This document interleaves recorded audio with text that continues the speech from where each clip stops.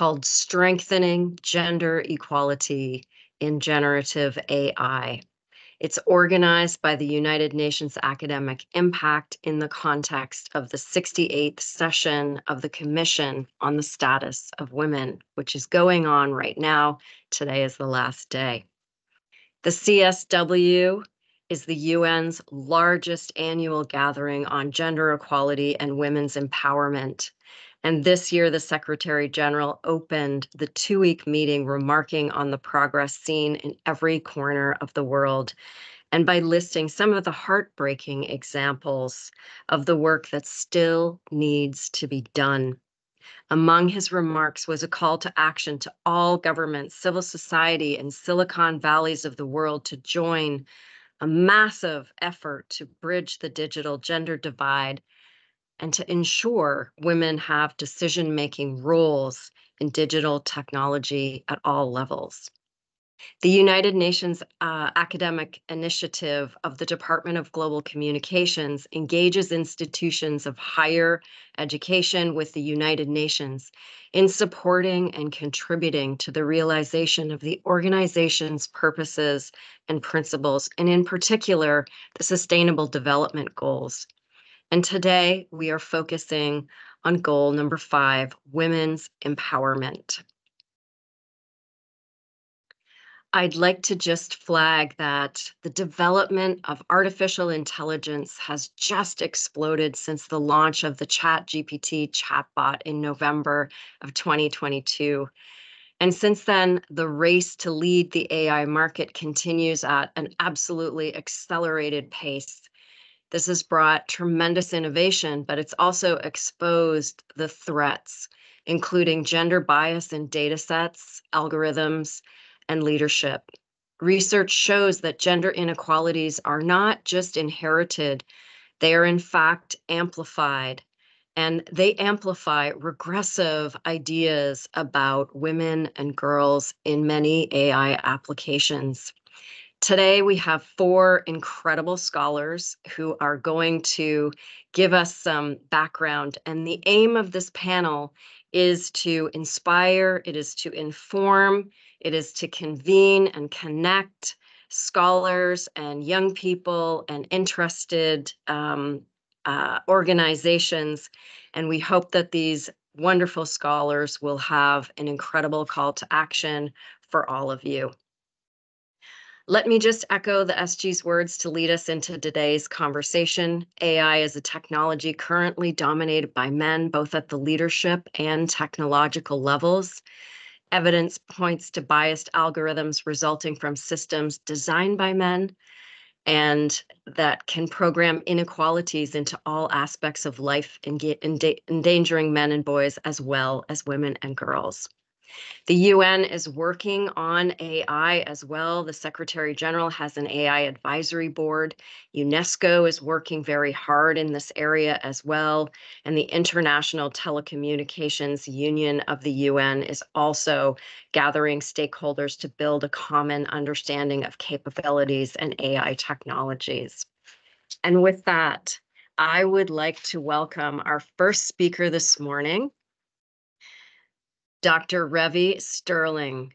Dr. Revi Sterling is the Senior Technical Director of Digital Inclusion at CARE and an adjunct professor of International and Public Affairs at Columbia University. She has worked to advance digital inclusion for over 25 years, starting with algorithmic and pedagogical gender biases in computer science before moving deeply into addressing the gender digital divide. And before I pass the floor to Revi, I just want to note that we also have Dr. Kutoma Wakunuma, Dr. Jamie Stewart, and Ms. Constanza Gomez Mont, who are also part of our panel today. But first, we will hear from Revi. Revi, over to you.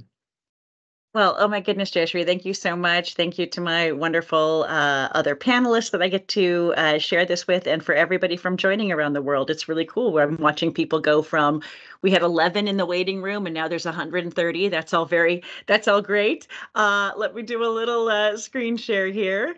Um, and I'm delighted to be here today. Thank you so much uh, to even be invited to this. Um, I can't actually because it's Teams. Uh, I can't quite tell uh, if people can see my screen, but I'm going to let Jayashri uh, yell out at me if she can see the screen, and we're ready to start. Perfect. Wonderful. So, anyhow, a delight to be here. My name is Revi. It's also wonderful to see so many uh, great folks that I know in the chat. So, thank you for coming and, and uh, sharing. And I hope you uh, hope you get something from today. Um, I'm just going to start with a few uh, reflections uh, and try to set the stage for the next wonderful set of speakers.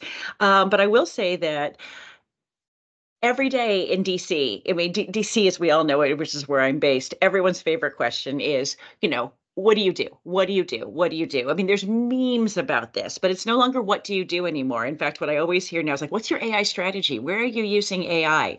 Um, and it's become sort of a new theme here, especially as you walk around the, the K Street corridor where all the NGOs are. And so being a, a technical lead at an NGO is hilarious because I'm asked multiple times a day, what's our AI strategy? What are we doing? So this couldn't have come at a better time, especially with um, with CSW just closing and, and, and what a great CSW it was. Um, and this just reminds me, like the hype of AA, you know, the hype around AI as a development panacea, you know, it reminds me of the early ICT for development era, you know, that characterized a lot of the last 20 years. And I thought we were sort of getting out of it, you know, that tech will save the day where traditional development strategies and approaches haven't, you know, and since we never seem to learn from history, uh, especially technology history, I feel a bit of deja vu with this misplaced exuberance about AI and its gender transformative potential. Um, and that's because because ICT for development, you know, my my my home my home uh, uh, discipline did not close the gender digital divide. Like we invented it, and now we're spending a lot of time and budget trying to make up for the unintended consequences and also build an equitable, gender equitable future. Um, and gender specialists warned us this would happen if we didn't put women at the center of development and tech programming. And I do remain optimistic that perhaps we can take 25 years of lessons on the gender and tech gap and pole, vi- pole vault right over a lot of mistakes and problems being uncovered now in these AI conversations that we're having, and we're having them earnestly, and I love that. Um, and people at this panel are going to take up, you know, some fascinating approaches on this. Um, and there's quite a lot of visionaries in the in the rooms themselves. So I'm really hoping that uh, you you speak up during the the Q and A. Let me move to my next slide. Hmm. This is very bizarre. Hold on, trying to move my slide. There we go. Sorry. But let's get back to the generative AI and hope so I can set a bit of a table uh, for others. So if we look at development, the first thing that pops into my mind with the work I do, you know, are voice activated assistants and, you know, services that can, tr- can tr- transform text to speech and speech to text. If you think of the hundreds of millions of people who speak languages with no limited, you know, with no written form or limited written form, this gets pretty important for fighting information poverty and closing the gender digital divide, especially if edutainment programs, you know, if they can write themselves based on hyper local experiences and dialects. I already see an uptake in ChatGPT usage just in emails. Like people are letting the software step up their writing game and their communication game. You know, ChatGPT, where the GPT stands for generative pre-trained transformer, you know, is now being used in all sorts of development, uh, you know, projects, tech for development products, where the pre-training is being done on large language models specific to industry and population. I mean, this is very exciting so people can generate their own creative assets, you know, and better yet, create new products and artifacts entirely, which is kind of why the screenwriters, you know, the Hollywood screenwriters are scared.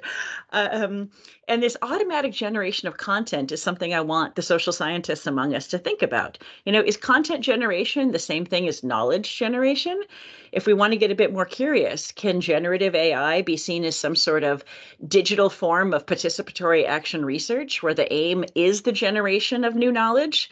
Uh, perhaps we'll see the codification of indigenous knowledge, um, getting its due respect as a data source, or perhaps monitoring and evaluation will become a generative process that organically forms, you know, from new data generation. I mean, I think impact evals are going to look really different in a few years, and that's probably for the better. Um, which kind of reminds us and takes me down the case of, you know, Gen AI was not developed for monitoring and evaluation or even for development. I mean, in our field, I think we think it is. Uh, you know, it was developed for profit. You know, these systems are expensive, they're complex, they're designed to have a high rate of uh, return on investment across commercial sectors. You know, they aren't designed necessarily for the women that I've spent 25 years trying to focus on. And we're only learning that it takes, you know, we need to tame this generate, you know, generative AI beast if we're going to use it for good and and not just uh, fun and profit. Um, but I'm also really excited that with generative AI, we won't have to pick between scale and depth, which has always been an intractable trade off in development, especially ICT for development. You know, we either have broad programs with shallow reach and big numbers, or wildly customized interventions for tiny sample sizes. You know, and I think when I was doing my dissertation research in ICTD, I think I made 33 communication devices. You know, it's kind of a small sample size when you realize that, you know, a third of the world has never been on the the internet. Um, you know, and I, I, do think that generative AI affords us to go big while being really responsive and adaptive to the individual. It's kind of the best of both worlds, you know, if we if we get it right. And for that alone, I think we're going to see more and more Gen AI that is hopefully purpose driven, maybe even demand driven, rather than the absolute top down shiny new object hype uh, that AI currently enjoys. And this is why we need to shift the agency of generative AI to the user. It can be a power shift. We always talk about about women's lack of confidence to explore and use technology. But what if she's kind of the creator of the system, or at least the co creator, to kind of go to my last point here? And we need to put generative AI in the context of all the other types of AI that I have on my screen. I'm listing some here, you know, data mining, machine vision, you know, where software can determine patterns better than humans, you know, even to robotics that can replace human effort and automate processes mean, computer science courses love using Roombas, you know, those little uh, robot vacuums, you know, to develop smart swarming algorithms. I've walked through many a Roomba battle, you know, in a lab on a way to a classroom. And at one company where I worked, we tried to send Sony AIBOs to meetings to record notes and free up our time to write software. I guess that's now part of like Otter AI and other things you know now the AIBO, you know can probably just write the software itself. And just as an fyi the uh, the latest AIBO, the ers 1000 features advanced ai capabilities and they say it's facial recognition voice interaction and the ability to develop its personality over time and interaction with owners and its environment. And that should make house pets almost as nervous as hollywood screenwriters. Um, but you know the hype factor is is is real um, but the potential is big. And like ICT for development and digital development, everybody seems to want to lead with the technology and not the problem. And what I hear again and again are, you know, oh, this AI is going to do this for this woman and this for this woman, and it's going to do this for her and this for her. You know, it's going to eliminate gender bias. Um, and every year for the last two years, when I'm asked what our AI strategy is, I am the first to say annoying things like, well, what problem would you like AI to solve? Um, and what would you like the AI to do? Um, and then I get a really confused look. Um, so I've stopped saying AI and I've started saying fancy software, which probably makes people cringe, but it really drives home the point that you know this is something that is actually developed you know as adaptive tools by humans for us to use i was just in a wonderful workshop run by uh, linda Raftree who's just so amazing where a few dozen of us commiserated over the pressure to do ai in development you know and why do we trust it so much we've seen the wreckage of hallucinations. Um, and for, for those uh, hallucinations as AI generated data that's inconsistent with reality, yeah, you know, and so it's disinformation or nonsensical results. And this is because there's so many limitations and levels of unintentional or even intentional bias, you know, injected by the humans that write AI software. Because behind every chatbot is an actually imperfect human, um, you know, or hundreds. And it might be great that I can make little watercolor pictures in DALL-E and put them in a slideshow. But, you know, at the end of the day, um, that's not AI, you know, for development. And what makes me nervous is when humans are writing, you know, the AI is how many humans make great choices? How many of us adapt to change well, but we want the software to? How many of us can anticipate the actions of others, of the future? You know, we're hoping that someone else can correctly code for all the potential butterfly effects out there. And as we see in both life and AI programming again and again, even the tiniest disruptions in a system can result in dramatically different outcomes, you know, over time. And humans, we're nonlinear systems by design, and yet AI is supposed to make sense of the nonlinear. So, what could possibly go awry? You know, anyone that's been around me for longer than an hour or a day at least will hear me talk about Conway's Law, which in 1967, we had a legitimate Western male computer scientist warn us that if we create systems imbued with our own biases, um, the product is going to result in that. Uh, I think that's why we have usability testing and other, because computer scientists are not necessarily the women we're trying to reach in these little thumbnails. Um, the computer scientists, you know, are coming from, uh, you know, these top 25 uh, companies that make 98% of the AI, you know, that is out there. And this is not to disparage computer scientists by any stretch of the imagination, but we have to go back to the human element, which is that you know, the, UN um, social norms report you know, talks about how 90% of both men and women hold some sort of bias against women. So how is that reflected in software? You know, what are the software engineering students learning about ethical AI? What's being taught at University of Illinois Urbana-Champaign or Berkeley or Caltech or MIT? You know, what in ethical AI is being reinforced at big tech firms and agile software startups, especially when big tech has disbanded so many ethical AI teams? Just, you know, just asking. Um, you know, to that end, let's see where AI really is useful. Oh, my slide didn't load all the way. It's useful in development. Um, and it was generative AI that automatically digitized some pen-based notes I was taking last week in the in the in the workshop with Linda. Um, and I think here's where the current state of generative AI is useful where we can protect a human life from danger, where we can automate the most boring and manual parts of our industry, and when we can't get informed consent fast enough to uh, to add photos to our to our uh, diagrams and reports. And I mean the last in t- as kind of tongue in cheek, but I did you know just create this little image, um, you know, on the fly. Uh, it's from DALL-E 2, uh, and it begs the question: if we can generate fake participants in our annual reports are we deceiving donors or are we protecting people's you know dignity and images? But i hope as this non-real woman uh, shows and perhaps she's hyper real or hyperial to you know to to to bring in some baudrillard because no doubt she comes from an amalgamation of lots of real women you know and maybe someday she will be using gen ai on that phone to do something that benefits her uniquely you know and specifically um and in the most directable, you know, and accessible form, because AI can do that if we can do this right. It can be a life coach in our pocket. And I want these life coaches to reach the women that absolutely need them the most and do it in a way that's safe and private and empowering and builds confidence and creates opportunities.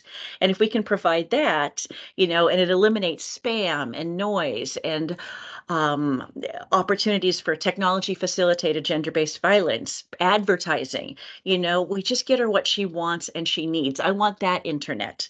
Um, and I, we all get more inform overwhelmed with information and hallucinations. Um, you know, and as the resources become extremely more constrained, even in our worlds, I think this tech for her um, you know, trajectory that we're on right now is going to become tech for us. And I think we're going to see more of that south to north tech transfer wave that started two decades ago with Ushahidi, with M-Pesa, with microgrids, because doing tech at the margins really does push the margins of technology, and then we all benefit from it. But Thank finally, you, Ravi. Sorry. Okay, you're wrapping up. I'm sorry. I'm so sorry. Yes. So Please. no, I just don't want to say is you know the, the final questions is development ready for AI, and I would uh, and is AI ready for development? Um, and I'm going to say yes. I go in a lot more with this, but um, certainly AI is ready for development, uh, and I have a whole history of that that I'll do on a different talk. And is development ready for AI? Um, I'm not entirely sure. I think that, you know, it's just the third or fourth iteration of tech for development in a lot of ways. Um, it allows us to do better. We need to be looking at policies and safeguardings. We have to generate the generative AI that actually outsmarts gender discrimination, that outsmarts racism, and makes us better versions of ourselves, if not in day life, at least in in um, in uh, the virtual world. And that's where really the whole digital economy is going. So I'll turn it over, and I'm excited to hear from everybody else. Great. Thank you so much, Ravi. I, I think that's uh, been a very helpful, you know, look and this notion of tech being able to save the day, but the human element in in programming and creating and replicating these biases that you were talking about is uh, is very very important part of the conversation. Thank you. So next up, I'd like to introduce Dr. Kutoma Wakunuma.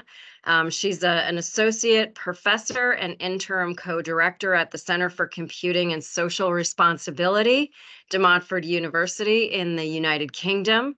Her research interests and expertise primarily focus on current and emerging digital technologies and their ethical implications on modern society, both in the global south and in the global north. Over to you.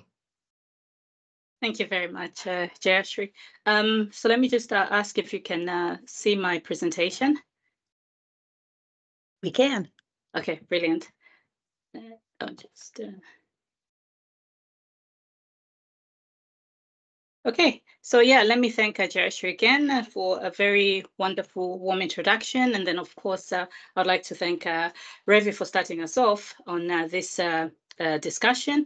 And uh, more generally, I'd like to thank everyone who's been involved uh, in um, putting together this uh, panel, particularly uh, Gosia. So thank you. I will begin my um, contribution by uh, looking at Antonio Guterres's 2023 Security Council quote, which states that we must work together for AI that bridges social, digital, and economic divides, not one that pushes us further apart. I urge you to join forces and build trust for peace and security. And I think this is a, a, very important uh, quote because uh, this is something that we're trying to do here. Um, uh, during the, this uh, conversation, we're trying to understand what has gone wrong in terms of uh, um, having equal um, access uh, to artificial intelligence? What are some of the issues that women uh, actually face? And also trying to understand whether there could be any potential solutions that we can uh, we can look towards to uh, help uh, strengthen uh, this space in as far as women are concerned.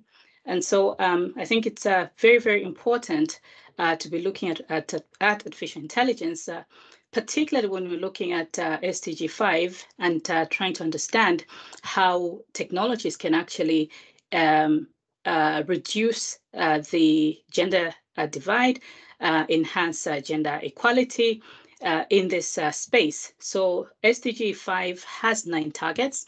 And one specific target actually looks at the potentials of technology in empowering women. And one specific uh, indicator is the ownership of mobile phones. So what this suggests is that um, the more um, access to mobile phones uh, that women have, the more um, it helps in terms of uh, empowering uh, women. And uh, at the time that um, the SDGs were being developed, there wasn't a lot of focus on artificial intelligence. Yes, artificial intelligence has been there for quite a long time, but uh, the focus has not uh, was not at uh, the rates that it's at uh, uh, during this particular time. And so now what we have to be thinking of, especially when we're looking at this particular indicator, is how we can um, uh, leverage the use of uh, generative AI through uh, mobile phones because um, um, when we think when we think about it, mobile phones have become very, very pervasive. They've become very ubiquitous. Almost everyone has access to mobile phones. And so one of the things that we can be thinking about is uh, to understand how to innovatively use these particular devices uh, to uh, enhance education, to enhance our learning, particularly for women, because most women, especially in developing uh, countries, um, do not uh, necessarily have access to say, for example, personalized uh, learning experiences. And through use of uh, generative AI, uh, this can be uh, possible. Uh, the aspect of uh, health and well-being is also something that can be useful, particularly when we um, use generative AI, and also uh, the generation of business plans and uh, business ideas. Uh, when we think about it, uh, looking at uh, developing countries, there are a lot of women who are involved in uh, small scale businesses, and those women have access to mobile phones. So why not look at ways of using generative AI to actually help prop women's social and economic standing in that particular um, area? But there are problems um, with achieving uh, SDG 5 because the statistics and some information um, that um, is there is that um, uh, artificial intelligence may not necessarily be easily accessible and that women may not necessarily have uh, easy access to, to, the inter to the internet. And so one begins to question whether it then becomes possible to really actually use these uh, generative uh, um, this generative AI to enhance and uh, uh reduce uh, the, the the gender gap and enhance women's position. So, for example, some of the statistics. Um, so, um, UNESCO's uh, report of 2023 indicates that only 22% of um, um, women professionals work in the area of artificial intelligence, and this is mainly in the global uh, in the global north. So you can imagine what that means for women in the global south and how we can then leverage uh, uh, this type of information to enhance uh, uh, SDGs. That becomes a challenge in itself. A more recent uh, report from UNESCO it, and this report is one that was recently published, I think, a, a, couple of weeks ago or a month ago. And this um, suggests that there are still uh, biases against women and girls in uh, large language uh, models. Uh, and these biases are coming through gendered, uh, gendered word association. So for example, uh, when it comes to female names, they're associated with more traditional roles such as home, family, and children. the report also indicates that male names, for example, associated with uh, a much more uh, prominent standing, uh, suggesting that uh, men have a much more better uh, uh, economic standing. So, for example, business, executive salary, and careers are the ones that are associated with male names. And only last week, and I think Revi can support me on this because it's part of the Women in the Digital Economy Fund. So I was privy to to the launch of this particular initiative, which is great for um, reducing or indeed trying to uh, reduce the gap, the digital uh, gender gap. Um, one of the, uh, I mean, some of the statistics were quite uh, surprising uh, or perhaps even shocking. But then again, we, we, shouldn't be surprised or we shouldn't be shocked uh, when it comes to women and their standing with regards to technology. So, for example, one statistic was that 1.5 billion women from low and middle income countries have no internet access uh, 259 million more men than women used the internet in 2022. And this is a very uh, telling because um, what this means is that uh, either the gap is going to start getting uh, wider uh, as we get as AI becomes mainstream, or that the gap will become very difficult to to reduce. And uh, what this means for women uh, could be uh, more uh, disad disadvantages uh, as we use the technologies in society. Uh, so the other thing that came out of this launch was that there's one trillion dollars that has been lost due to the gender gap, and that if this gender gap were to be closed, approximately 524 billion dollars would result. And so one wonders why this is not happening because uh, it can only be a win-win situation if uh, we reduce the gender gap and if we uh, include uh, women uh, uh, in this arena of artificial intelligence. Um, there, there have been illustrations uh, of, uh, or they're not even illustrations. These, these are real life uh, situations that uh, have been uh, revealed from books that have been published by great scholars such as Cathy O'Neil, Safiya Noble, Joey Buolamwini, um, Virginia Eubanks uh, that illustrate and demonstrate that uh, gender bias still continues to this day and that uh, uh, this is problematic when it comes to artificial intelligence. And I think one of the reasons for this is that there is politics of power involved uh, in artificial intelligence. And this is not surprising because uh, for the most part, a lot of us know that technology is not neutral. And so because it is not neutral, it cannot be without uh, politics in it. And one of these, uh, one of the reasons for this is that uh, because it is not neutral, technology should be seen as uh, value laden. It is value laden because uh, whoever is sitting at the table uh, when it comes to designing, thinking about AI, developing AI, implementing AI, um, has the power to decide what goes in, what is trained in terms of data sets and how the data sets are trained and what is embedded when it comes to uh, artificial intelligence. Um, and this is problematic, uh, particularly because women are not necessarily sitting at the table and we ought to be changing uh, that, otherwise uh, the inequalities will increase. And so we need to be thinking about uh, responsible AI when we're looking at that. And one of the ways that we have to be thinking about it is uh, looking at what is potentially wrong and what is potentially right, right at the beginning of uh, AI's design, AI's uh, development. Um, and so we have to be looking at uh, what we can do when we're looking at uh, design, development, implementation, adoption, and use in uh, the environments that uh, we're in. So, for example, one of the things that we have to be uh, considering is the inclusion. Who is included and how we can include the different stakeholders, particularly women, and how also we can engage. Um, and I think this is very, going to be very important, particularly when we open the AI uh, systems or designs uh, to different voices and to different experiences.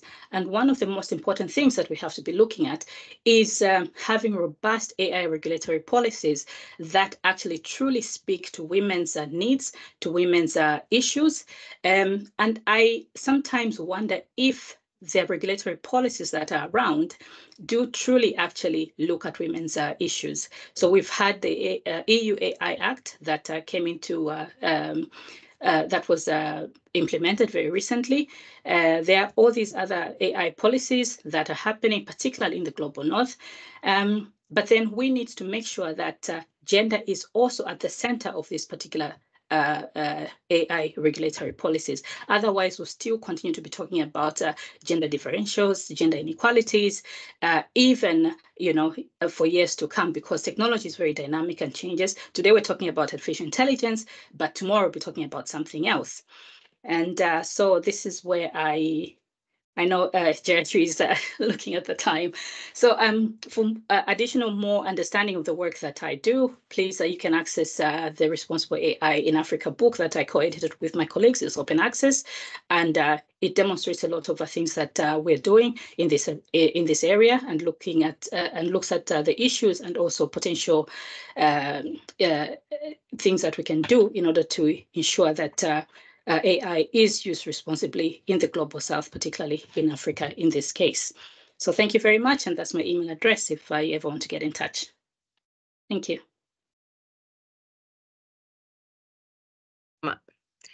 Thank you so much, Kutoma, for that uh, very helpful overview. I think you're quite right. The the statistics are are quite um, shocking. Twenty two percent of of women in this in this area working.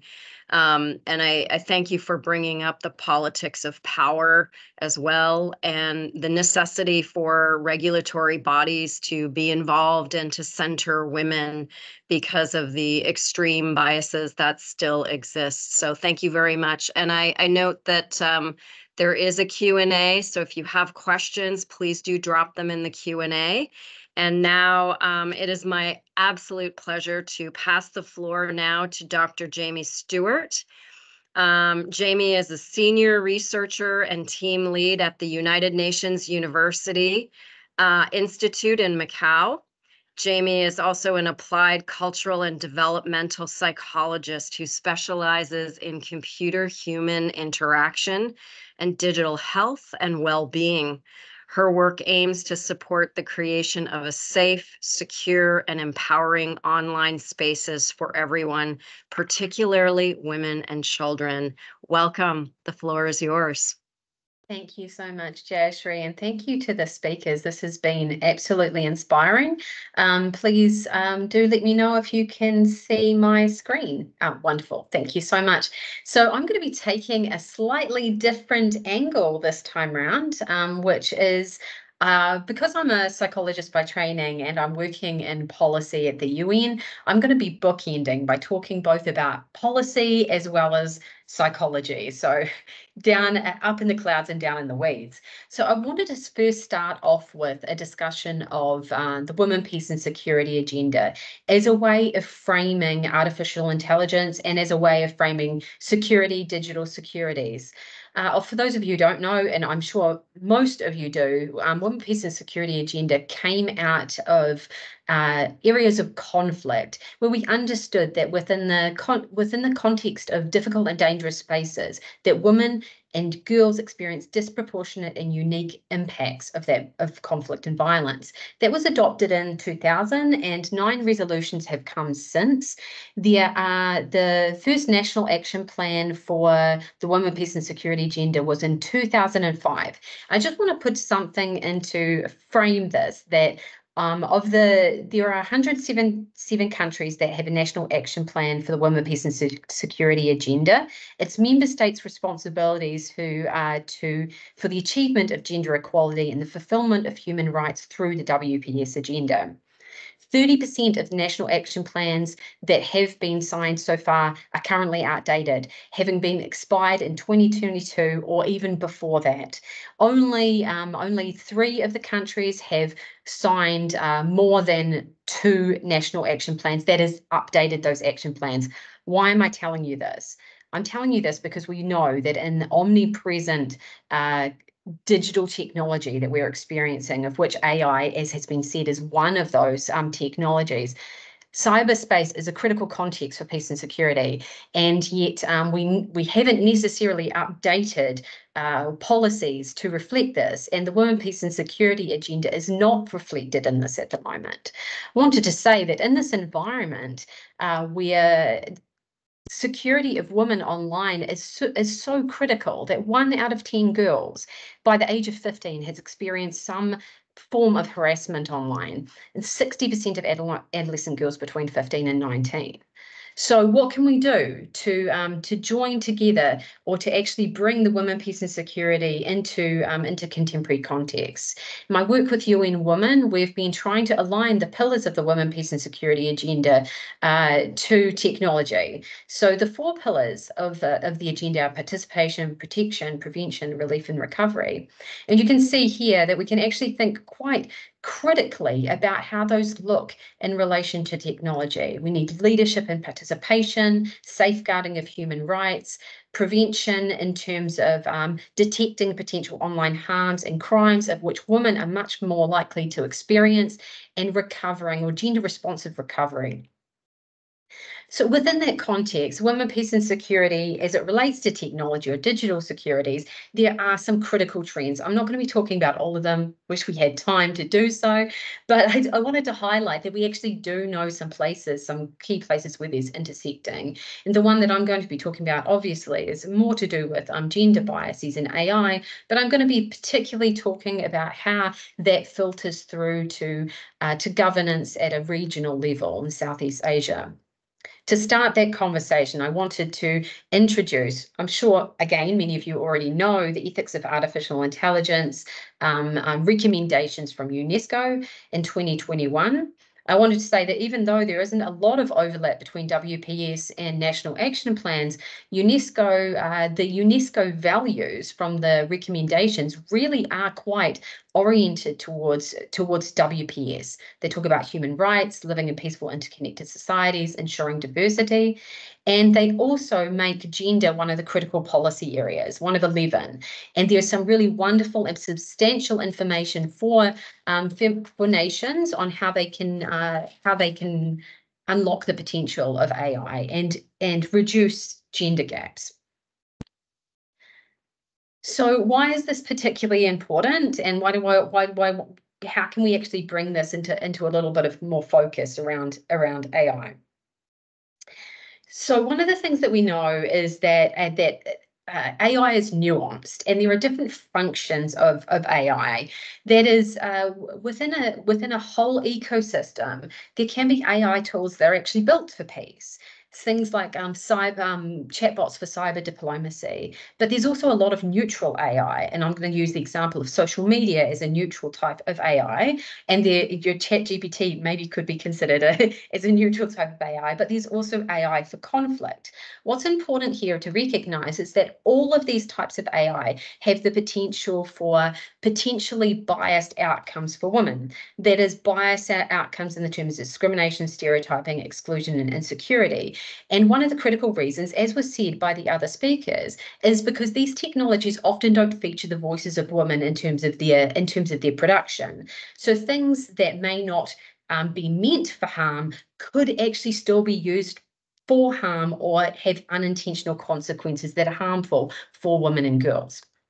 What does this look like from a regional level? I think this is really important because we want to think about what to, what do the obligations of WPS actually mean for um, nation states and for regions. So I've done a lot of work in Southeast Asia, and um, those of you who don't know, in February 20, February this year, the ASEAN um, put out a guide on, on AI governance and ethics, which they uh, produced to the seven features for guidance on how to design, develop, and deploy AI in ways which consider their, their broader social impact.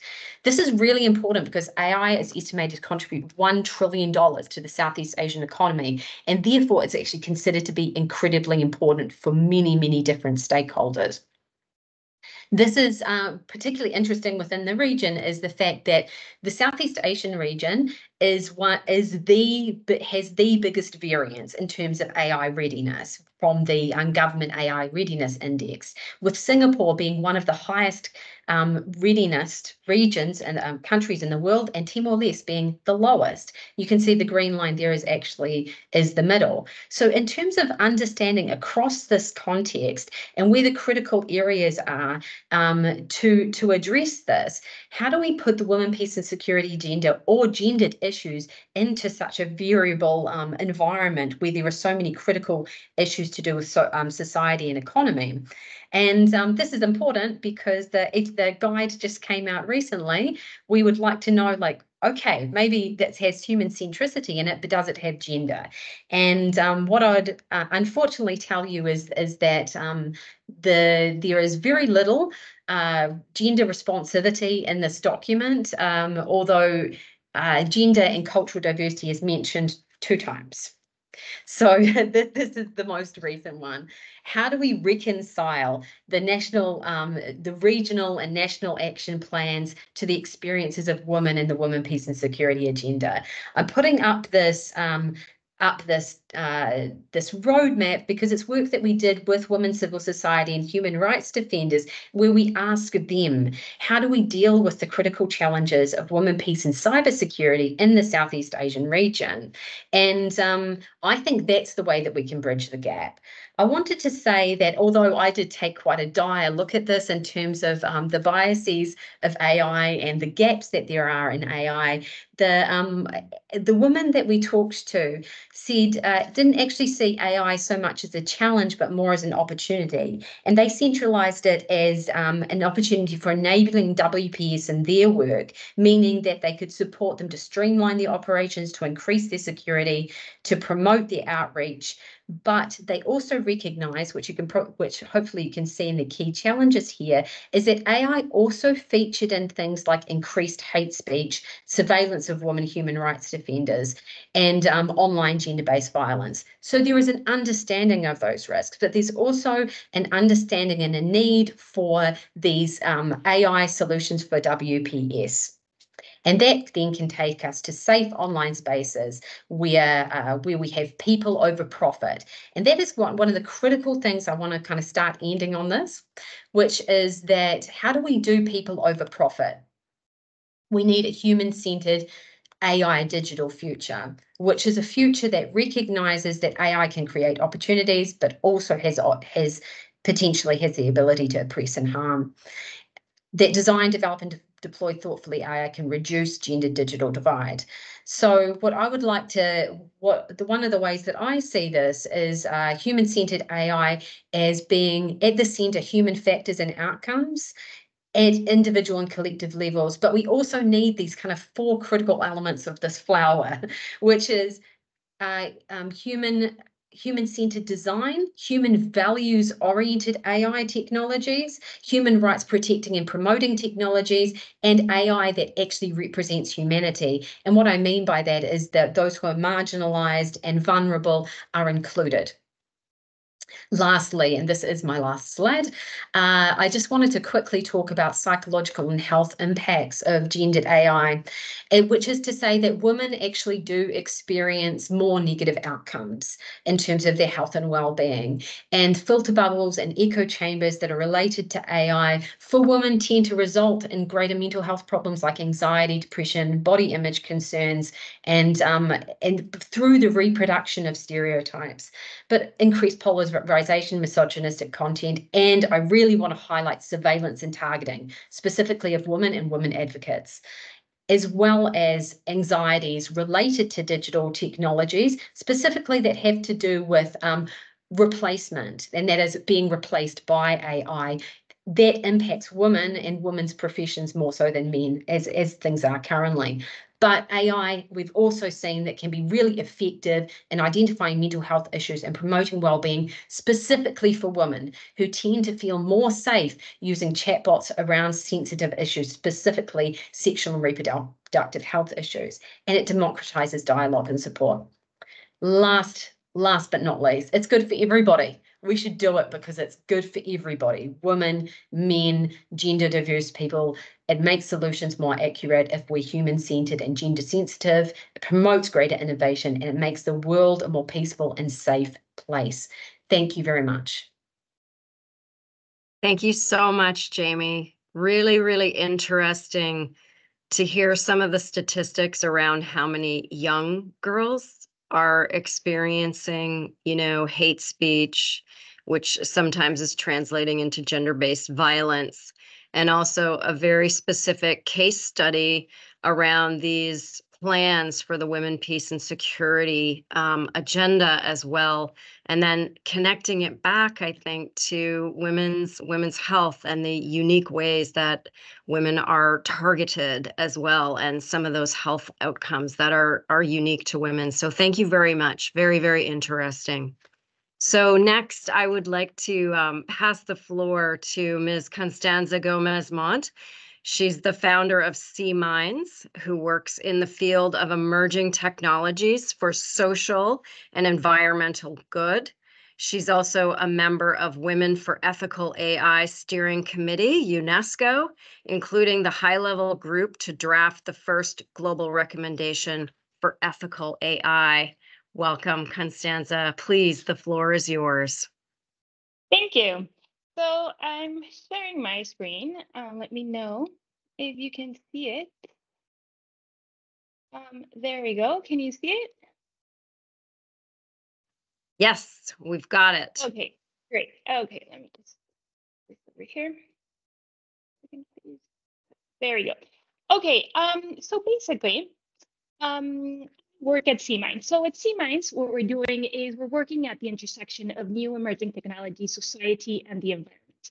We're a women-led um, organization in Latin America, so I think the, the focus on gender equality and the questioning on a perspective of how can we work with emerging technologies that not only we mitigate the risk of gender inequalities, but also how can we harness their potential to be able to fight this? And how can we look Latin America as an innovation ground to present more and more innovative solutions towards the same, but also as a, as a land and as a context to question the validity of certain AI contexts. So basically, um, what we're seeing here is that the AI systems, um, where we're seeing like the bias and other type of um, gender inclusion aspects of this can be seen one through the AI model lifecycle, and the other one is through the systemic view. So I'm going to talk more about the systemic view on this challenge. Um, one is a diverse teams and female leadership. So as we all know, um, we've seen this data all around, but you know, 20% of technical ro roles are women, 12% of researchers are women, 6% software developers. And what we're seeing is not only this is happening in the industry level, but also in the academy where 80% of AI professors are men. Um, so we get to ask, okay, what does this mean? What does it mean to have a diverse team that enables more um, perspectives, that enables more creativity, that enables more competitiveness in the scene where this is one of the challenges? Also, we can see in the female founders scene where 10 to 20% of the female of uh, startups are founded by females. So when we're talking about having diversity, we're not only talking about having diversity in data sets that create the AI models, for example, but we're also creating the diversity in all levels of decision making, not only from the hypotheses that are being formed when the creation of the AI models is being held, but also at the C level and all of the levels where we can have women voices represent and see that indeed these uh, solutions are both representative, but also inclusive at the core. When we're talking about certain specific solutions, uh, regarding institutions, for example, what happens when you have dedicated funds for gender parity schemes? What happens if we have diversification plans in the recruitment processes? Um, in the governments, what happens when we have targeted efforts to participate in STEM and ICT programs for women? And in the investment sector, what happens when we have funding that is specifically led and specifically targeted for women entrepreneurship? So these are some of the actions can be taken on the systemic perspective on gender inclusion, where not only having diverse, as I said, data sets is, is a worthy um, cost to explore and a mission, but also the diversity in teams at all levels in these AI industries. Um, in Mexico and Latin America, we have different type of uh, experiences and solutions that we're seeing to this. For example, we are having more and more funds that are targeting women founders, for example, Amplifica Capital. We're having programs such as this one WeXchange led by IDB Lab, which are focusing on women's uh, empowerment and how can women have more access to both mentorship, funding, resources, and a supportive ecosystem that can beat the statistics of having, for example, 20% of women only being part of this AI ICT ecosystem. Um, in, in Latin America, um, such as in other places around the world, we have 5% of startups and scale-ups um, are founded by women, and only 2% have raised capital investment. So when we're talking about having an AI ecosystem that is diverse and representative, if we don't fix also the fact that women in entrepreneurship and in different levels and leadership positions, if we don't fix that diversity and if we don't give women a voice in these levels, then it is very difficult to understand and to be able to face questions as such. How can we have a more inclusive AI ecosystem and how can we reduce bias? Um, what we're seeing as well is, for example, uh, questions such as retention and growth. Um, it's not only having the correct recruitment strategies to bring more women, for example, on board industries, but also what are the retention and growth strategies?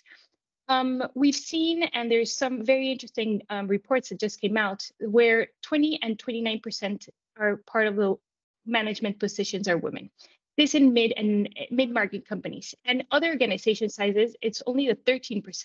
So we can see that as smaller it gets in the organization, the more challenges it presents in having um, women in these leadership positions. So the question becomes, not only how can we enable more women to come in these industries, but also how can we retain talent? And what does that mean in different levels and different sectors?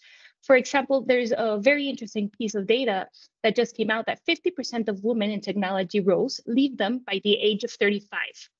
And this has to do with an array of causes, but from which were highlighted the micro harassment um, and this bro culture that exists in this industry that needs a very um, pragmatic solution. So from having institutions to having uh, maternity and paternity leave strategies to clear and strict harassment policies to leadership growth support programs, there's very specific things that both the institutions and all through the AI sector and the ICT sector can do to be able to retain talent from the bottom to the top. And this point is very specific because when we're talking about having inclusive strategies that work for the broad broader population and not only for a very specific targeted group which are normally men we need to question ourselves and what are we doing as a society to retain um, talent at the very top.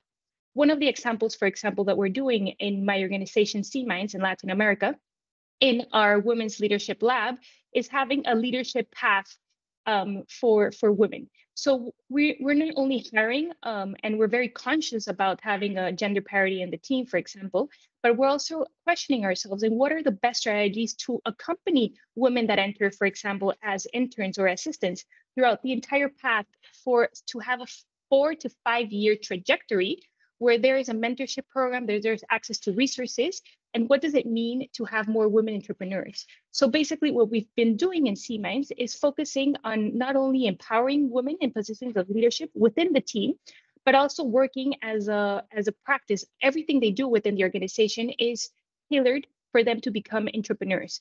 Right now, we've been uh, we founded the second spinout of C-Minds, where one of the directors that comes in and goes through this mentorship path is able to found um, their own organization and then create more ripples of change throughout this ecosystem. Um, and also questioning the AI for impact. It's not enough to understand how to mitigate bias from the AI lifecycle, but also to question what in the sense can we see in general with the impact AI is having in the ecosystem. Regarding institutions and governments, for example, what happens if we invest in research that explores the impacts of AI across different demographic groups? Um, to ensure that AI development is guided by ethical considerations and societal well-being?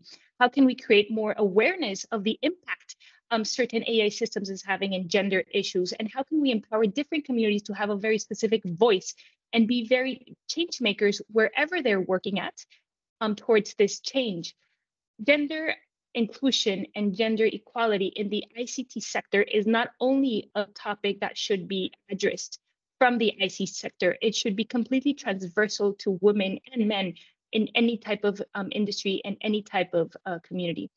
And that leaves me to the fact that AI is not only, um, we have to make sure that there is a, a very embedded AI ethics and principles and values and strict guidelines and protocols and audits towards the systems to be able um, to make sure that we're not uh, making this gap even larger, but also how can we use AI to be able to fight um, these uh, gender inequality systems. For example, in the AI for Good lab at C-Minds, um, we've been exploring how to use AI to fight gender violence. What does that mean? Is how can we automate um, the reporting of system of certain governments, um, institutions, where they have tons and tons of calls of women being able to report gender violence? How can we use AI to automate the capturing of this information to be able to prioritize cases that need um, urgent action? And how can government institutions have more and more tools to be able to respond to this issue, both in Mexico and Latin America? Um, however, we, we've been seeing a lot of challenges in the sector, and we know there's a lot to do still. Um, I want to share something um, that happened uh, some days ago when I was looking for pictures and, you know, asking GTPT to create some images for this presentation. And I asked, um, you know, for this data, you know, ask, please develop, you know, a 20 uh, image that represents 20% of technical roles of women in the industry and, and this um, specific data. And um, what I what I got back from from Chat GPT was creating images that intentionally de um, depict inequality could reinforce negative stereotypes and might not effectively promote the change we want to see. So basically, I wanted a picture to be able to depict the inequalities that exist. And I got this answer um, asking me to or rephrase the petition or just to be aware that these type of images are a part of the problem because we're reinforcing certain messages. So it automatically asked me if I wanted an image that portrayed um, diversity rather than just having a specific role. So we know that the path is, is a very large um, what is it? There's still so many things to do in this arena, but we are working um, as a community to understand what are the best solutions, both at the AI lifecycle level and the systems level. For example, I was part of the drafting committee for the AI ethics artificial intelligence um, recommendation, and um, I remember that we were we were presenting the proposal to include a gender section on it. And everyone was questioning this because they said that the gender part was already covered in the bias and the data um, data sets, you know, the challenges of diversity in data sets. And it was it was impressive how we had to fight kind of back to say that gender requires a whole chapter. Why? Because we need gender equality strategies that are both transversal, that are can be accountable, that can have very um, specific strategies that work not only on the AI life cycle, but also in the general um, ecosystem as a whole. And lastly, um, UNESCO founded the Women for Ethical AI Network, which I'm also part of, that can become a very a specific asset to answer these questions as a community. Thank you very much. Thank you so much, Constanza. Um, so really interesting to hear even about your your fight for inclusion of a specific chapter on on gender. That's fascinating to me and i'm so pleased to hear that you were there and you were in the trenches and you managed to make that happen um, and that really is inspiring to to hear. And I, I think your point also about you know the investment that has to be made in in this research to make sure that the development is is ethical as well and figuring out what are those um, safety nets what are the principles the values the guidelines the audits etc you know this is like a huge scaffolding that has to be built um, you know to to regulate and to ensure that we're we're not just um, you know yeah, replicating these kinds of biases. And also, I was kind of blown away by the number of women that leave the field, you know, around the age of 35. Some really interesting um, statistics. And, and just to say, thank you, thank you, thank you. We're going to go into a Q&A session now. Um, so uh, just to see the powerful um, presence of these four women and the other women working in this space, to create greater equality. So we're just going to take a look at some of the questions here. Um, there's a couple of questions in the chat. Um, Revi, there's one for you about cutting through the hype and acknowledging uh, the hard road ahead, finding ways to deliver the good while minimizing the proven unintended consequences. Is development ready for AI? So do you want to take that question and, and kick us off on the Q&A and we'll come around to the other speakers as well, please. Sure, but this time I'll aim to be a little more brief. Um, in any case, I do think I think development is ready for AI in a way that it wasn't ready for tech for development. Um, I think those two fields sort of collided into each other. There was a lot of ICTD stuff. There was a lot of development. We didn't have a very happy marriage. Um, there's still a lot of, uh, we have a lot of strange children.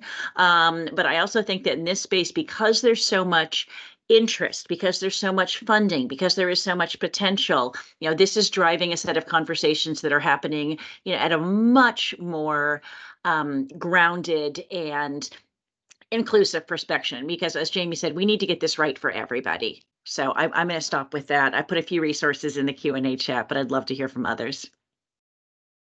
Amazing. Thank you Revi, for that. Really appreciate that um, so, uh, Kutoma, there's a question here for you as well. Thank you for the great framing of the data on gender equality in the context of AI and including evidence of the real challenge ahead.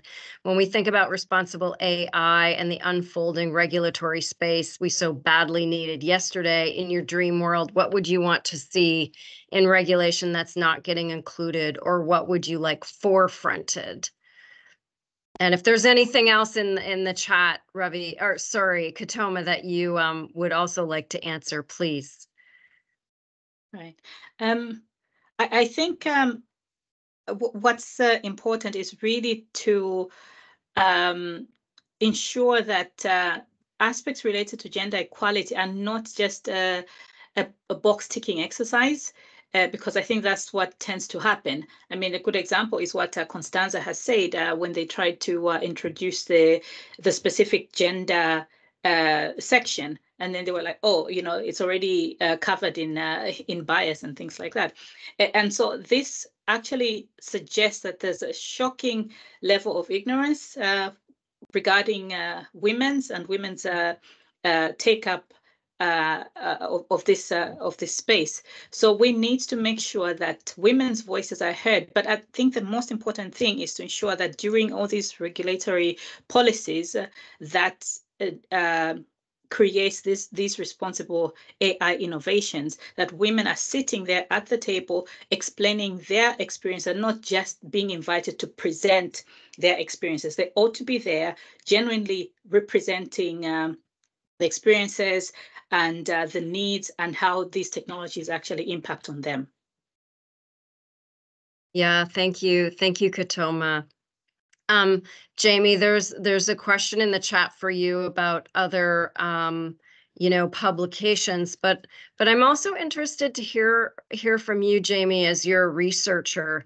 Can can you tell us a little more about what you think the role of researchers is in addressing the some of the regressive trends in generative AI? Uh, good question. Yeah, I'll, I will answer the question about the publications. We're actually at the very last stages of the work with with UN Women, which um, combined across AI, WPS, as well as cybersecurity and cyber resilience. Um, I'll keep. Uh, I'm happy to keep people updated. That um, roadmap that I showed everybody is available online. Uh, we also have an e-learning module for women civil society and women human rights defenders that is currently in the last processes. And Next week, I'll be in Bangkok doing a training for trainers of human rights defenders. So this is a wraparound piece of work, and that actually feeds into what you were asking, Jayashri, which is what is the role of researchers?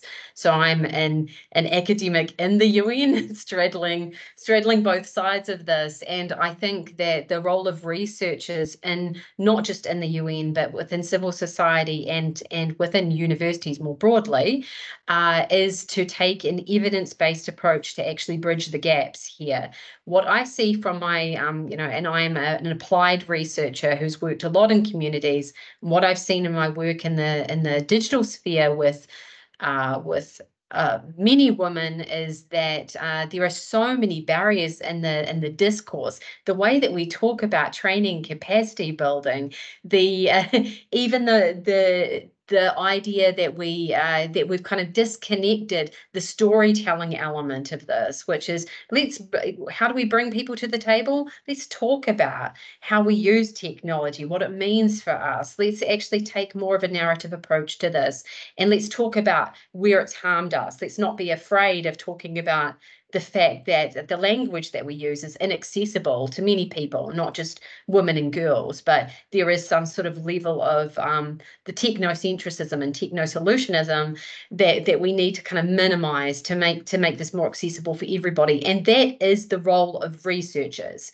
not to make it less accessible to make it more accessible and more evidence based so that we don't just keep on recreating the same thing. So we need to take our skills into this environment in order to bridge the gaps, not just write papers or reports, but actually do wraparound services that are inclusive and when we say meaningful participation that we actually mean it and we um and we we're not we're creating those platforms for people Thank you. Thank you, Jamie. I, th- I think that's a, a really helpful response on the on the role of research. Um, Constanza, uh, there there's a question in the chat, and it's not directed to anybody, but you you may be positioned to answer it, but others can jump in as well. This question is saying that I, I'm noticing that donors are jumping to funding prototyping or scaling AI builds. Some state ethical AI builds, but there doesn't seem to be funds for the research and foundational thinking that needs to go into truly exploring technical solutions for gender bias and the social processes that would need to support it. Are others witnessing this trend, or what would the speakers like to see in terms of, of funding streams? So I'll I'll maybe pitch that to you first, Constanza, but there mother maybe others who want to answer that too in in this group, please. Of course, um, I definitely see that there's a big gap that we have to close in funding uh, for these type of solutions. Um, especially, um, there's a special interest in, in the global south. How can the global south, as I think it was Revi saying, how can we see and, and push for the possibilities of what can be done in a context where, all, where already the inequalities are so large and so big and the lack of opportunities are so profound.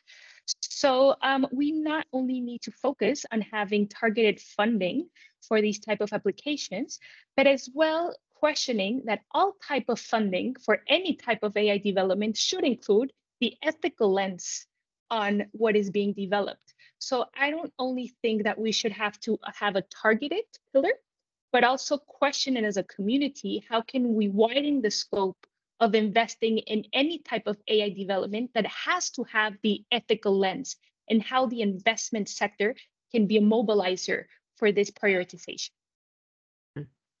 Thank you. Does anybody else want to add to that particular question?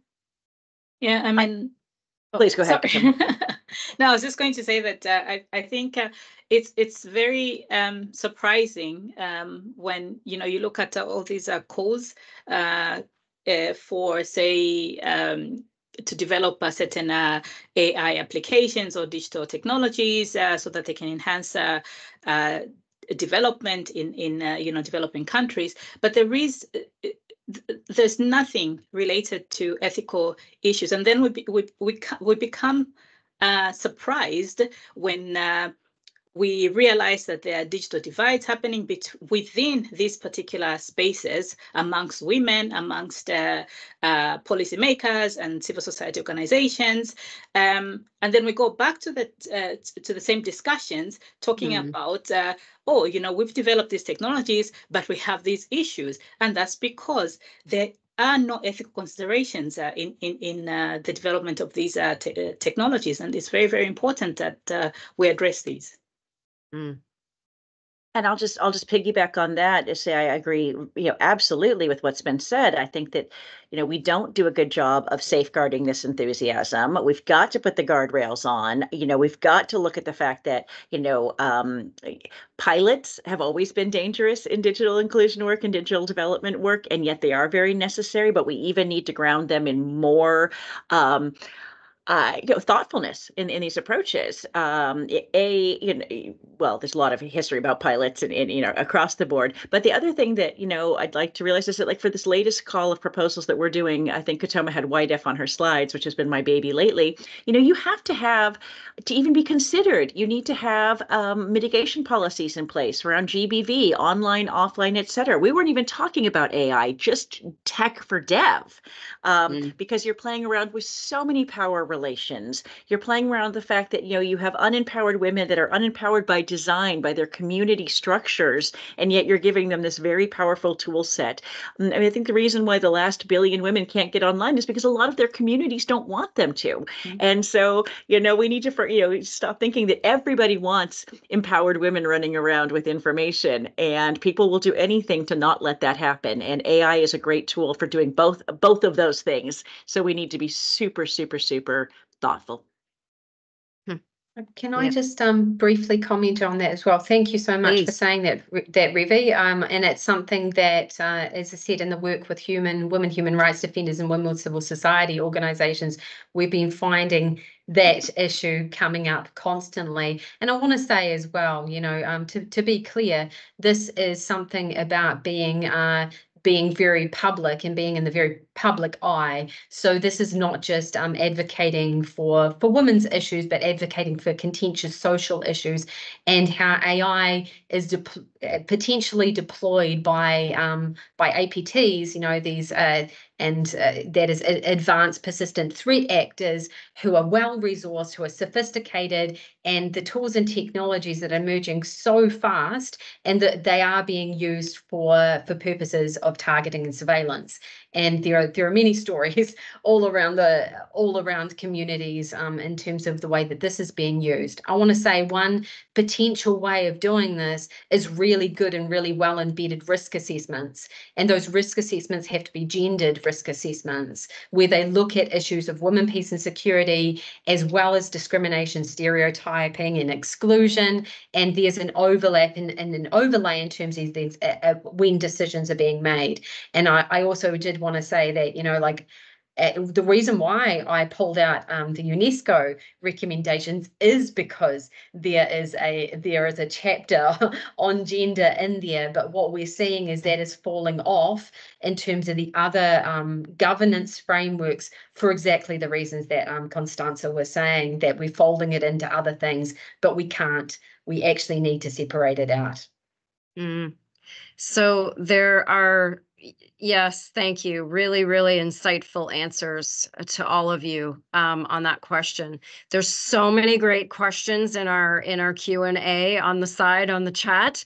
Um, we'll try to get to as many of them as we can, but just since we're on this, you know, kind of topic and understanding how the kind of ethical frameworks and these guardrails, I think we're all in agreement that these are definitely needed. But you know, whose responsibility is it? To ensure that these kind of regulatory practices and regulatory frameworks are are put into place. And and I, i'm just throwing the question out to all of you like where where does the responsibility land on that? Because there's a massive gap here. So would be really interested to hear your thoughts on that and then we'll go to a few more of the questions in the um in the chat it's so hard. I think everybody probably feels it. And I'll um I'll just mention very quickly my thoughts on that and pass over to Kutoma. Um, I think that uh, especially when we're looking at, you know, I've been talking about governance and one of the reasons why the EU AI Act could pass through is because there could be a legal framework around that. In many other regions, you can't have that. And um, I think what I want to see happening is we're actually revisiting much better national action plans and the obligations for for gender equality um, that are they're based in those foundational documents and bringing them bringing them into our discourse now. So um, I don't I, I do think that we have to have global solutions, but they have to be localized. And um, global solutions sometimes and frameworks may not have the uh, the same impact uh, as local solutions do that are actually oriented to um, to people's lived experience. So I don't think we can say it's just the the buck stops here. We need it at multiple different levels. Um, uh, yeah, I totally agree with you, uh, Jamie. But I think uh, policymakers play a very, very important role in this. So they are going to be responsible for the most part of it. But I think um, um, having different stakeholders contribute is very, very important. So we need to be looking at uh, CSO uh, contribution, for example, because uh, uh, in the global south, for example, CSOs play a very, very uh, important uh, role in terms of awareness, in terms of um, you know understanding people's um, uh, situations, and these can easily feed into the policies uh, around responsible AI. But I think also because policymakers are always playing catch up with uh, technologies because technologies are very dynamic. You know, tomorrow you can be talking about uh, one uh, technology, the next day to be something else, and so it becomes very difficult to have uh, robust policies uh, around the ever dynamic uh, technologies. But I think if we can also include uh, the private sector, who are usually the experts, uh, uh, you know, in terms of uh, provision of uh, these technologies, uh, then I think we're onto a winner. So different stakeholders will play will play different roles, but I think one somebody has to take, or a specific group has to take leadership, and that is uh, policymakers. Mm, thank you. I see Constanza and Ravi, please. I also would add there um, the the also the potential for the consumers and users to have an active voice in this. For example, we were doing a, a policy prototype in, in Mexico, you know, working with startups to, for them to include these ethical guidelines within their work. And one of the very um, honest questions we had from these startups was like, there's there's a lot to we have to invest a lot of resources a lot of limited time that we have as a startup to be able to do this you know the, this ethical guidelines and the assessments you're asking and you know it's resource intensive. Why the, the, our consumers are you sure that our consumers care about this? Because we're working to have a certification on ai ethics but it's it is not giving us an advantage over our competition um, so it was a really interesting, you know, um, questioning that mm-hmm. is a very valid questioning. So um, uh, jumping into, you know, thoughts about that, how do we work with the consumers and how do we work with the demand side of having ethical companies and ethical protocols and ethical products? So there can be a, a more honest conversation both ways, both from the supply side, but also from the consumers that demand it and that prioritize products and services that prioritize ethical developments. Mm, thank you. Ravi. I just love what's being said, and I, I think I'm going to echo uh, all all of these voices next time I, I uh, talk to people about this. And I think that for those consumers that are a little more sophisticated, um, that do care about this, that realize that this is an important issue and might have a little bit more of a voice. I'm thinking of, you know, being more involved with internet governance fora, you know, at the at the country level. Uh, you know, policymakers you can't ignore IGFs, um, and IGFs always have you know both a gender and an AI or emerging technology mandate. I look at the work that AP Association for Progressive Communications, is doing. You look at the work that UNESCO and UNFPA and UNICEF have done in this space. There are mm-hmm. resources, there are groups even feminist AI, you know, online groups. Um, if you, uh, you know, trying to find somebody from, you know, the A Plus Alliance that that might be in your community. This is why we have LinkedIn, right? You know, we have to go find the people. Uh, we have to have these conversations, um, and uh, we. And I think that there's more of an opportunity for this because I think with tech for development, ministries just like to point to each other. Oh, tech should do that. Oh, broadcasting. Oh, gender. Oh, commerce, and no one really wanted to touch it uh, because who wants to do something for women. Um, but at the end of the day, you know, AI, you know, because of what it stands for and represents and affords, you know, all countries are running towards it. So we need to take advantage of this and be just super smart. No one's better at building coalitions, uh, you know, than women when we need to accomplish something. And so this is that time right now. Oh, thank you. Thank you. Um, so the, this is another question that I, I think is um, helpful and broad, and all of you could please um, contribute.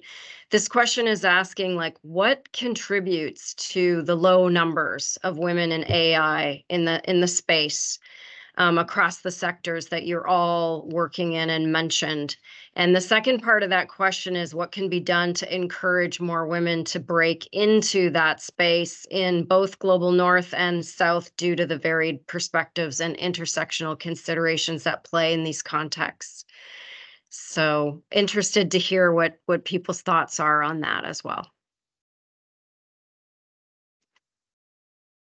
Please go well, ahead, hate, Jamie. I would hate to go back to, I mean, we, we do have 30 years, you know, organizations like Anita Borg Institute and uh, National Center for Women in IT. I mean, we know why there's fewer women in computing from the 80s downward. I mean, that's a very well understood phenomenon, that kind of incredibly leaking pipeline.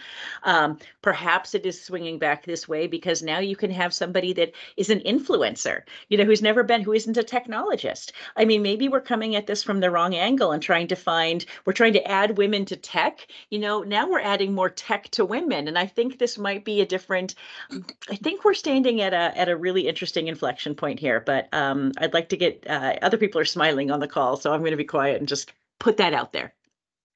Please, Jamie, go ahead.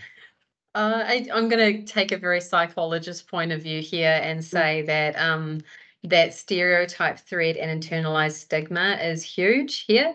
But um, there was, uh, I was actually just, I'm going to present exactly on this topic tomorrow Women Techmakers Hong Kong. And I found a really wonderful piece of research that's not so wonderful, but that talks about um, women and the types of stereotypes that they experience within tech. And um, some of those, those stereotypes that they experience uh, not very many of them are, are, good stereotypes about women being competent in tech. Let me just say that. But what I the, what I wanted to say to you about those is stereotypes are endorsed not just by men but also by women. And someone I, I sorry I can't remember who it was that said about the gender gender norm index. Um, I think that would have been you, Revi. Yes, eight out of ten people have um, have uh, stereotypes against women, and one of the critical ones is stereotypes against women leaders. So the, some of the issues that we have here in terms of gendered norms is that yes, we are taking them on, and other women and as well as men are policing in that space. And then there are other issues that um, that feed into that, which are around uh, caregiving and um, and lives and contexts of complicated contexts of women and um, and our roles uh, and how that intra intersects with uh, masculinized norms within tech, which I, I know somebody else said said bro um, bro coding and the, that that type of culture. It really really does impact. And uh, one of the things that was said in terms of They've got this whole pipeline, girls not coming into education, girls dropping out of education in STEM, not being hired into STEM roles and then not getting career progression. It is not happening in one place, it's happening at every single space within the pipeline. And that's happening not just from men, it's happening from women, and it's happening within ourselves as well. So we need to break out of this um, and empower women at the different places, put supports in and around those places where there are critical drop off spaces. Um, I don't know if I can uh, jump in, uh, but I suppose I, Please, I should. yeah, go Yeah. ahead, Kutoma, Uh, and then we'll hear from Constanza as well. Right. Okay. So I think one of the the, the things that uh, really uh, affects uh, the situation is the fear, fear of technology. Um, sometimes just the word technology or even AI itself, you know, uh, most uh, women, I think, uh, please don't uh, lynch me on, on that, will just think it's it's uh, something really difficult, and so they will not necessarily want to engage. Um, but I think uh, I'm comforted uh, by the fact that uh, now we have uh, these uh, young people who are really engaging with uh, technologies, with all these wonderful apps, and um, they are leading the way. Like you know, my 13-year-old daughter now, I'm I'm asking her about how these uh, uh, some of these apps are, are working, and sometimes she's like, "Oh, why don't you understand this? Uh, it's very easy, you know," and and uh, it, it's a it- and I think it happens across across the board. It's just that uh, sometimes we're very uncomfortable about these technologies, but it's it's good that the young people are learning about these technologies at a very very young age, and I think this is where uh, the trajectory is going to start changing. So we need more education, we need more awareness, and uh, yeah, we just need to stop fearing technologies. I guess. Mm. Yep, please, Constanza. I would definitely add um, one is our res- responsibility, kind of a global community, to highlight the cases that are, are working. You know, what are the applications that are doing it right? What are the institutions that have a amazing retention and leadership uh, policy? What are the governments that are having a, a transversal strategy regarding this? So one is let's start to hear more specific case studies on how we can do make this happen because I, I think we've all in so much data how this is impossible. Let's start to hear these very specific case studies that are are changing the needle on this. And second is when we talk about women, um, it, it is not an homogeneous um, group. You know, we, Mm. we do have to realize that there is an intersectionality need to talk about this agenda and a context-based agenda. So just to make sure that we, when we take these conversations to the local level, that we uh, we address the fact that we cannot put all women in a box and that we need diversified um, strategies to face this. Thank you so much. I, I'm just feeling so energized by all of the incredible insights, all of the extraordinary research that all of you are doing, all of the incredible work in the field that you're doing every day in an area where it's it's a big uphill battle and um, I feel like you're all out there representing many, many women who may not be in a position to even advocate for themselves um, in in this area and just in in the general sense of of the numbers of women that actually live in poverty that the Secretary General mentioned um, with the CSW.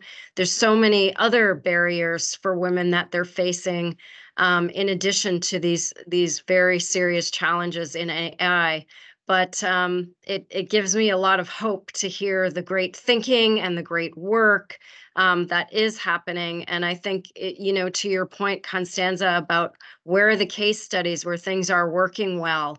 You know, this is where we need to lean into and figure out what are the best practices that we can engage in. So what I'd like to do is maybe just give one more round to each of each of you to just say, you know, if you have a, a particular call to action or a particular thought you would like to leave everybody with today. Um, I'd just like to give you all maybe another minute to sign off um, before we close today. And a huge, huge thank you to all of you for for making time. So if I may, um, maybe we can just go in our order, starting with Revi, Kutoma, and then Jamie, and then Constanza. Please, over to you, Revi. The floor is yours.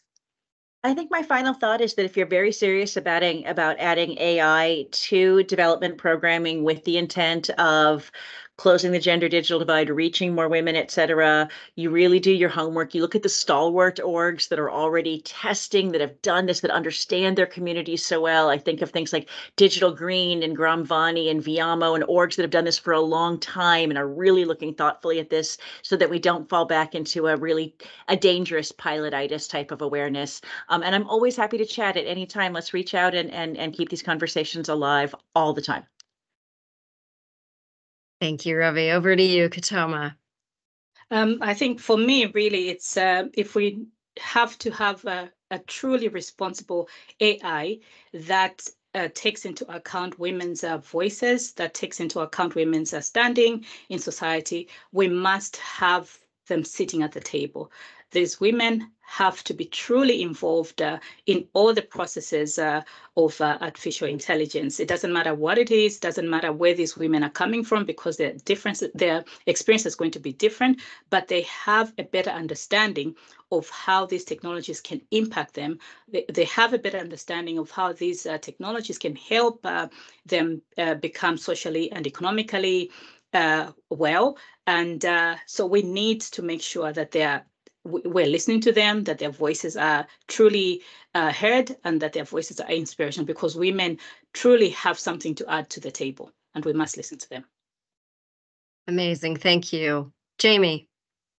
Um, I think what I wanted to say is echo a little bit what Revi said very early on, which is uh, we we know a lot about technology, we know a lot about people, we know a lot about gender inequality. All of these things we know a lot about, and we shouldn't be swept away in the hype. What we actually need to understand is about people's lived experiences and what that means in extended spheres of life, because digital technology is one of those. So this isn't um, the next, there will be a next thing and a next thing and next thing. And if we treat this situation in the same way we've treated other technologies, that is with fear, or um, with complacence and apathy, then we're just going to end up recreating the same things over and over and over again. So if we want to see uh, representation, if we want to see inclusion, if we want to see universal access and not just access, but um, meaningful access where um, women and girls and everybody from marginalized communities